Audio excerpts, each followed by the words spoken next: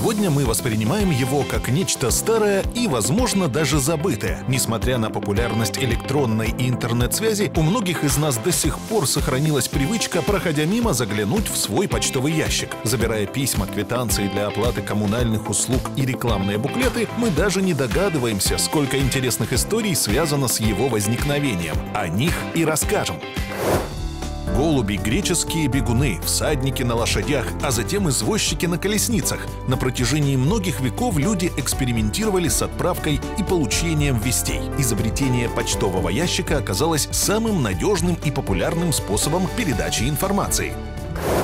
В XVI веке морской путь из Европы в Индию и Китай осуществлялся в обход Африки. Это было довольно длительное путешествие, и моряки зачастую делали остановку в районе мыса Доброй Надежды. Там пополняли запасы воды и провизии, а еще оставляли в каменных тайниках послания. Именно они и стали прообразами современных почтовых ящиков.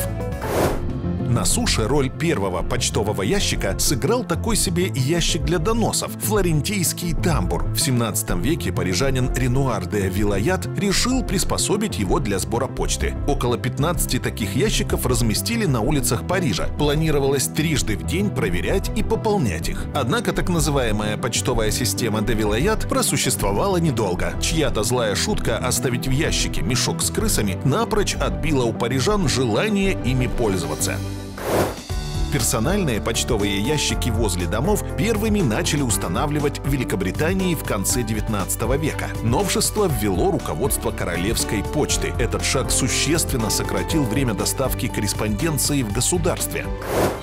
Возможно, вы замечали, что практически во всех странах Европы почтовые ящики желтого цвета. И это неспроста. Именно желтый был символом первой крупной европейской сети почтовой доставки. Разработал ее император Священной Римской империи Максимилиан I в 15 веке. Он происходил из рода Габсбургов, и желтый был одним из цветов этой династии. А вот в США в 18 столетии первые почтовые отделения оборудовали в кофейнях и тавернах. Согласитесь, есть в этом что-то романтическое. Прочесть долгожданное письмо за чашечкой кофе. А недалеко от острова Хайдовой на Мальдивах расположен единственный в мире подводный почтовый ящик. Находится он на глубине около 10 метров. Предназначен для дайверов и ныряльщиков, желающих отправить друзьям в качестве сувенира специальную водоотталкивающую открытку. Помните, каждый гражданин самостоятельно несет ответственность за свой почтовый ящик. Это установлено на законодательном уровне практически во всех странах Европы, в том числе и в Украине. Взломанные письма попросту не доставляются, поэтому берегите свои почтовые ящики, чтобы долгожданные послания все-таки дошли до адресата.